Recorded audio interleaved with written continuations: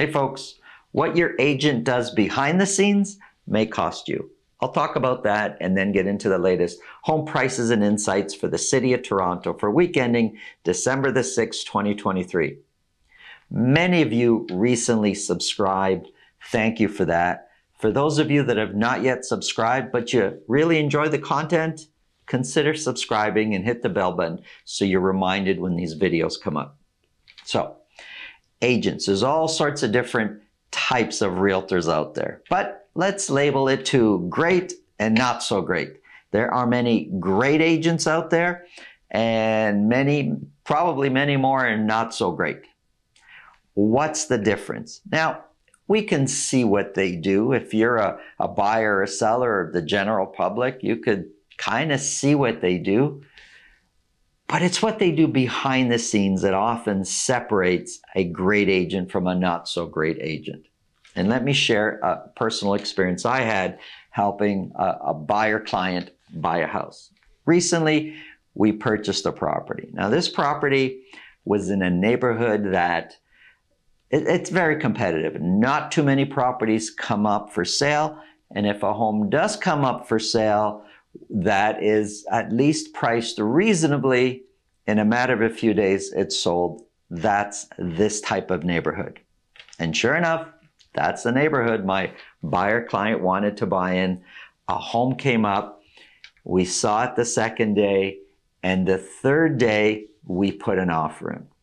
Now, in those three days, they had about 15 to 20 showings. It was fairly active.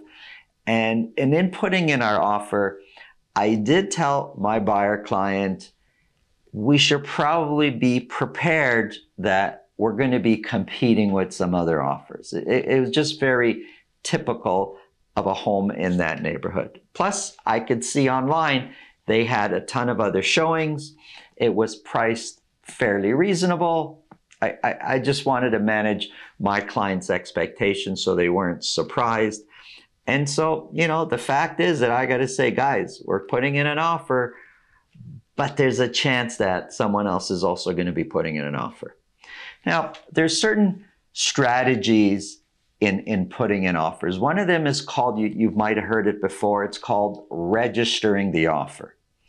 So when I submit an offer, I would register it. I could either do it online or call the office, uh, the listing brokerage office, and say, here's my offer. Now, when an offer is registered, it triggers anybody else who has shown the property that they all get a message, an email saying, hey, an offer has been registered. Now, this triggers anyone else who's kind of on the fence thinking about putting in an offer to quickly jump on board, or at the very least, call the listing agent and say, Hey, I see that you got an offer. We're thinking of putting an offer. When are you going to be reviewing this offer? How much time do I have to submit an offer also? The problem is, is that it's not mandatory to register an offer. So strategically, as a as an agent working with a buyer, I have a choice if I want to register or not. It's not mandatory. And same with the listing agent. They have a choice whether they want to register the offer or not.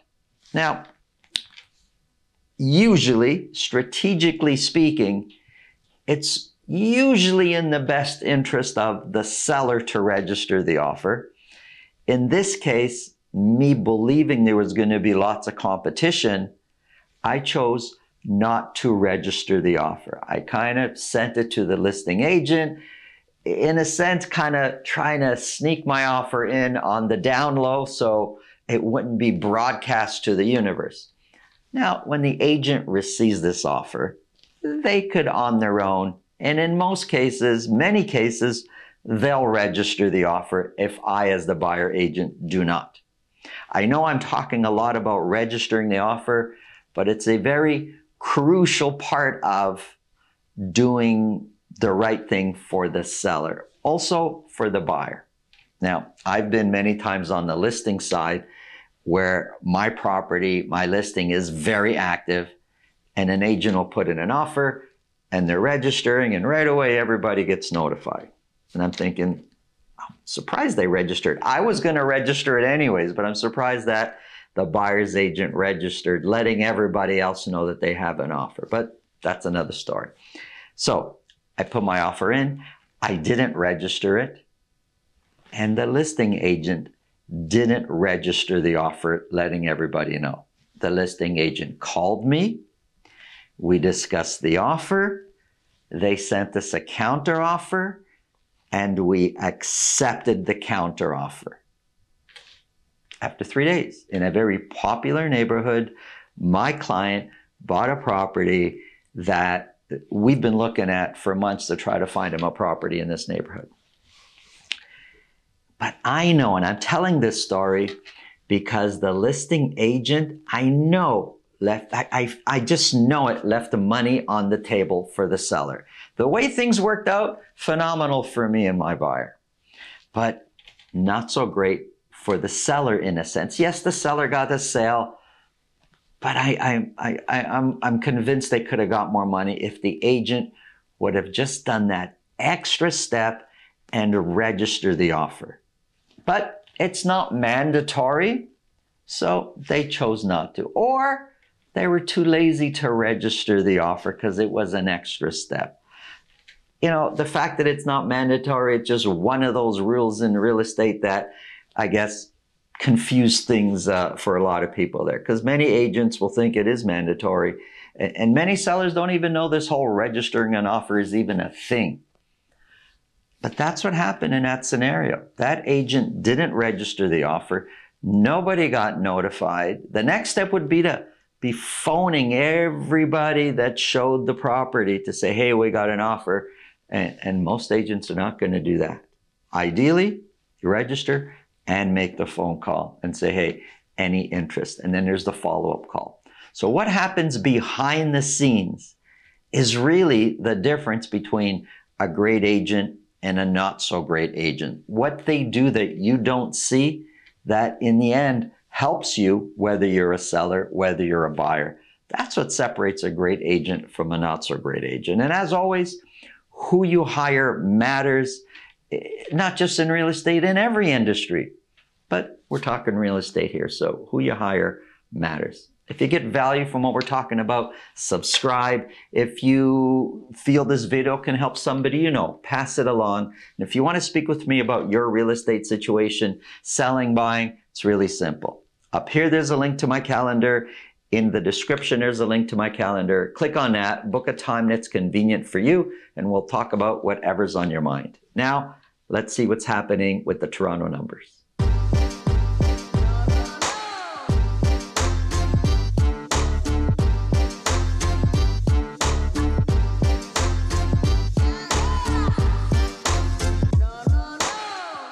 folks, are sellers giving up? Well, I'm going to illustrate, talk a little bit more about that when we get to one of our slides. Let's get started. Here's a quick summary. Condos, semis and towns, detached properties. These are average sold prices for three months broken down by week. It looks like semis and towns cost almost as much as a detached property now. Relax though, it's not quite like that. Let's get started with detached properties. We're looking at only for the city of Toronto, detached properties broken down by week. This chart is for a whole year. 104 detached properties were sold for week ending December the 6th. Yes, we're in December already. This year has flown by, hasn't it? Week ending December 6th, 104 was sold. 104 is actually not that bad. When you kind of look at the year and look back a little bit, last year at this time, we sold 93, then 63, then 57, and 104 was what we were doing in February when prices were going up. April, you know, there's 120, 129. August, in certain three weeks in August, we were below the 104 mark. So 104 this time of year just doesn't seem that low. Although historically it's pretty low. Right now, with the economy and the situation that we're in, it's actually not so bad. And although it is coming down, sales are coming down, not that rapidly. 104 were sold, 15 of those sold at $2 million or more. That number, the amount of property selling at $2 million or more, that's come down quite a bit from, well, how far do we got to go? We got to go all the way back to September. We had September 6th, which was Labor Day weekend. That's when we had less than that. But otherwise, we've got 24, 26, 25. The previous week, we were at 24. Week ending December 5th, December 6th, only 15 sold at $2 million or more.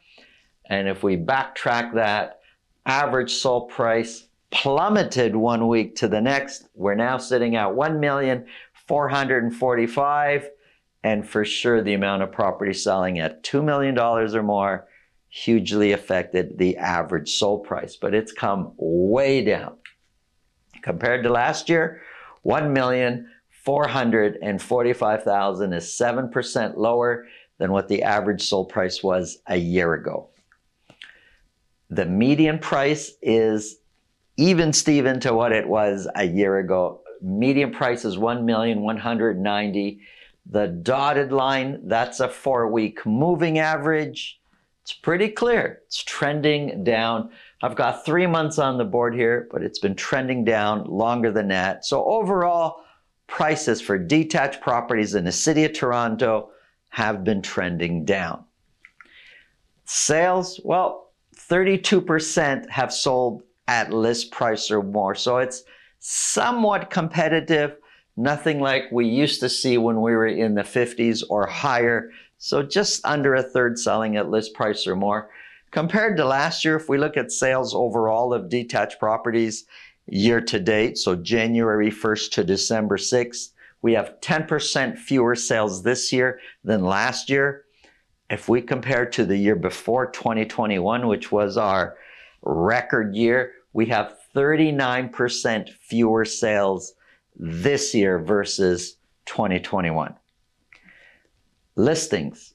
Very clearly, listings are trending down. Fewer and fewer properties are coming onto the market. Active listings coming down rapidly. So let's talk about this a little bit. If we look at the previous week, if we look at the numbers, active listings for the previous week, week ending November 29th, active listing was 1,583. That's how the week ended. The minute later, that's how the week started with 1,583 detached properties available for sale across the city of Toronto. During the course of the week, we listed 149. 1583 plus 149. I'm going to go back. We know over the course of the week, 104 sold. So 104 sold out of 1583 plus 149. That percentage is 6%. Only 6% of all properties that were available for sale actually sold. 6% six out of a hundred properties for sale. So if you were a buyer and you went out to see a hundred properties over the course of the week, only six of those sold. That's not a very active market, is it? Six out of a hundred. Well, let's look at another part of that equation. If we take 1583 plus 149, and we subtract 104 of the which sold, that's really how many active listings should be there now. But it's not. It's far lower. Active listings for week ending December 6th is far lower. It's sitting at 1,486. So what happened? Where'd all the sellers go? Well, lots of them. Their listings expired or terminated, meaning the sellers decided that's it. Forget it. I'm not getting my price. I'm coming off the market. And that's what a lot of them are doing. And that number, the amount of sellers coming off the market, is 8% of all properties that were available for sale. So more sellers are choosing not to sell than are actually selling. Eight out of a hundred properties came off the market as unsold and six out of a hundred actually sold. That's why we're suggesting lots of sellers are choosing not to sell and actually coming off as unsold. The numbers are there. Months of inventory for Toronto detached properties. Although it's down from the previous week, overall it's been climbing steadily. It's now sitting at 3.3 months of inventory. Average days on market is one of the higher days that we've seen is now sitting at 26 as the average days on market. Let's break Toronto down into nine sections. 3.3 is the months of inventory for all of Toronto, which on its own is, it's just kind of borderline of being a balanced market. However, there's some areas, Scarborough, 2.4 months of inventory, same as it was the previous week. East York, Riverdale beaches, two months of inventory, far more competitive than Toronto as a whole. Two months of inventory is the same as it was the previous week. In East York, actually half of the properties, 50% are selling at list price or more. Rexdale, Downsview, 1.7 months of inventory. There's some areas in Toronto far more competitive than other areas. Be careful about where you're shopping. I'm not telling you to pick one versus another area, but if you are looking in different neighborhoods, you do need different strategies if you're looking to buy, also if you're looking to sell. Here are semi-detached. 29 semis sold. Six of those were at $1.5 million or more. Average sold price climbed up a bit to 1,249,000. So the detached plummeted this one week. I don't think it's going to stay that low and we're going to kind of average out to a, a more of a uh, uh, more of a gradual decline for the detached, but semi jumped up. But it's only 29 sales, so you kind of got to look at that and think, hmm, is that you know a realistic average number? Compared to last year, 1249 is 12% higher than where we were this time a year ago. The median price is 17% higher than where we were this time a year ago. But if you look at the dotted line, the four week moving average, prices for semis overall are trending down. Months of inventory hasn't changed that much over the span of three months. Sure, we got weeks that it's a little higher, a little lower, but more often than not, over the last three months, around 2.3, 2.4, 2.2 is really where months of inventory has stayed for semis. And for week ending December 6th, we're sitting at 2.3 months of inventory. The demand for semis is there, and it's usually because of the price point. Here's townhouses. Only 10, 10 freehold townhouses were sold. I circled this because four sold at $1.5 million or more. That's a huge amount of all the townhouses that sold. Guess what happens to average sold price when that happens. It shot way up there to 1427. I want to kind of fly through this real quickly because those numbers are just nuts. 1427 happens to be 28% higher than last year's average sold price for the same week. The median price also way up there at 1330, which is 24% higher than what it was a year ago. And months of inventory sitting at 3.6 months of inventory. Let's talk about condos. Sales gradually trending down. 150 condos were sold. 12 of those were at $1 million or more, and that number's coming down a little bit. Average sold price came way down from the previous week to 675,000. Overall, price has been trending down compared to last year 675 is 8% lower than where the average sold price was a year ago. Now, on the board here, I've got three months broken down by week, and I circled the weeks that were negative, lower than last year's average sold price. By far, overall, Most weeks, condos are lower than last year's average sold price. Prices are way down from where we were this time last year.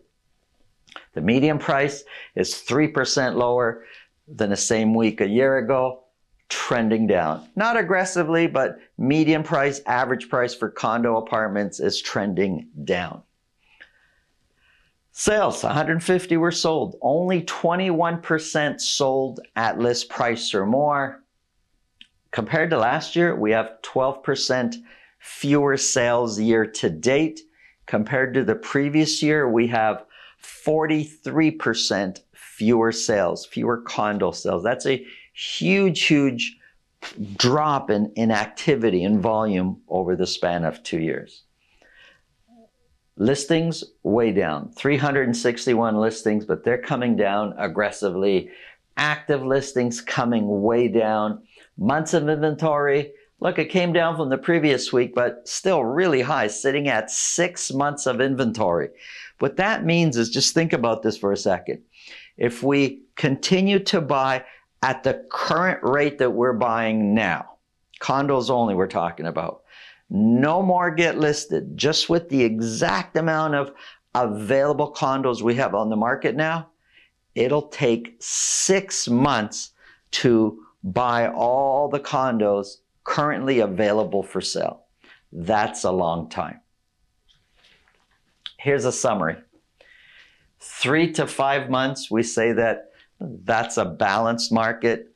Above five months is more of a buyer's market. Well, pretty clearly, condos are in a buyer's market. Now, there's going to be some buildings you're not going to experience that. It's it's going to be a seller's market in some buildings. There's few of them, but they're there. And, and, rarely does a condo come up for sale in that building, and when it does, it gets bought up quickly. There are few of them. Overall, generally speaking, in the city of Toronto, lots of condos available for sale, and generally speaking, it's a buyer's market for condos. The other market, the freehold market for detached semis and towns, overall more of a balanced market. Although in some neighborhoods that have lost the list uh, have lots of listings, it, it could feel like a buyer's market. But overall, it's a balanced market. And then you get some of those other areas that I talked about, Scarborough, uh, East York, it's it's a bit more competitive. It's still going to feel in many cases a seller's market, although prices are way lower than what they've been. If your home is set up properly and priced properly, buyers are still ready to buy, and we can see with the low months of inventory, buyers are buying quickly. As I said at the very very beginning, who you hire matters. Thanks for watching. Have a great day.